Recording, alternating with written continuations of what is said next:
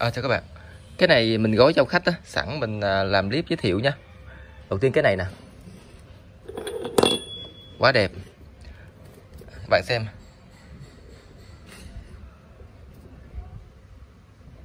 Pulley này rãnh à, A hay B gì mình không rõ các bạn. A hay B ta. Nhưng mà cũng khá là to. Nói chung là nó vừa với cái dây uh, Dây curo á. Dây curo kéo bản AB gì đó nha còn bánh răng này thì à, mình thấy nó nó nó ngang ngang với cái clip xe đạp á, hoặc là cái loại mà xe bánh nha. Cái này size 60 size lớn nha.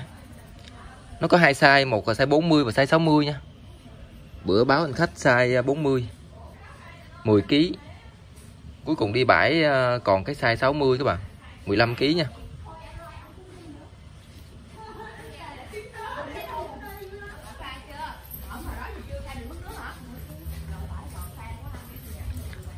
Cái này mình vệ sinh nè cái này chưa.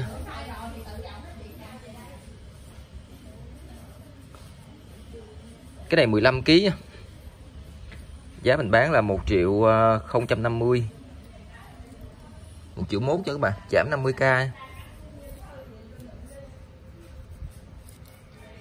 này tỷ lệ 110 nha 110 hàng rất đẹp nha. Thông thường những cái này á các bạn là mình kéo cái um,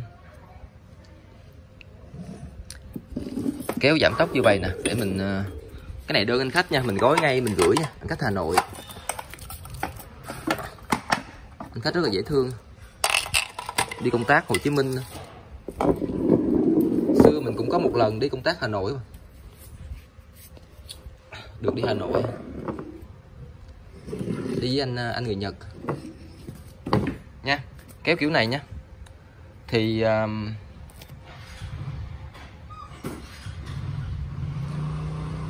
các bạn biết mấy mấy cái tời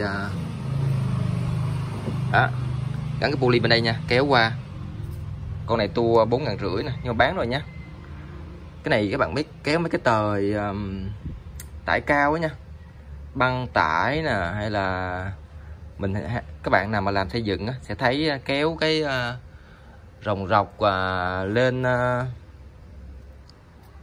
kéo hồ hồ đồ xi măng thùng bê lên á lên tầng cao nha. Còn cái này cũng như mới nè size 60 nha. Cái này à, nó không có cái cái à, cái bát ở dưới. Cái này tám trăm rưỡi cái này một một năm mươi.